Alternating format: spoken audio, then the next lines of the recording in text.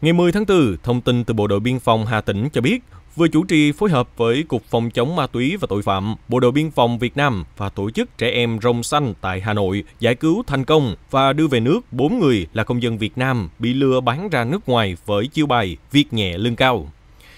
Trong 4 công dân được giải cứu lần này là 3 nam, một nữ. Các nạn nhân này bị nhóm tội phạm có tổ chức dụ dỗ, lôi kéo làm việc văn phòng ở đặc khu kinh tế Bò Kẹo của Lào với mức lương 30 đến 40 triệu một tháng.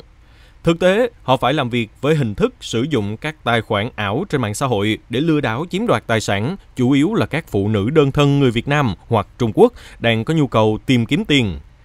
Mỗi ngày, các nạn nhân làm việc từ 13 đến 15 tiếng. Nếu không đủ chỉ tiêu, sẽ bị đánh đập, tra tấn và yêu cầu gọi điện về cho gia đình đòi tiền chuộc từ 200 đến 300 triệu đồng. Tính từ cuối tháng 3 năm 2024 đến nay, lực lượng Bộ đội Biên phòng Hà Tĩnh đã giải cứu thành công hai vụ với 6 nạn nhân bị lừa bán ra nước ngoài với chiêu bài việc nhẹ, lương cao.